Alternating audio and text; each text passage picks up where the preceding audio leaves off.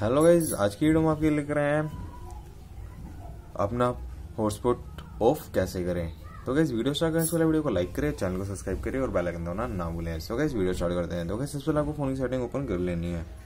Phone की setting open करने के बाद गाइज़ आपको नीचे अदर वायरलेस कनेक्शन का ऑप्शन आ रहा है, इस पर क्लिक करें। इस पर क्लिक करने के बाद गैस आपको देख सकते हैं यहाँ पे पर्सनल हॉटस्पॉट का ऑप्शन आ रहा है, इस पर क्लिक करें। इस पर क्लिक करने के बाद गैस आप देख सकते हैं हमारा पर्सनल हॉटस्पॉट ऑन है। तो ऐसे ऑफ़ कैसे करें? तो ऐसे ऑफ़ करना बहुत ईजिली जो आइकन आइकन पर क्लिक करते साथ ही हमारा पर्सनल हॉटस्पॉट ऑन ऑफ़ हो जाएगा।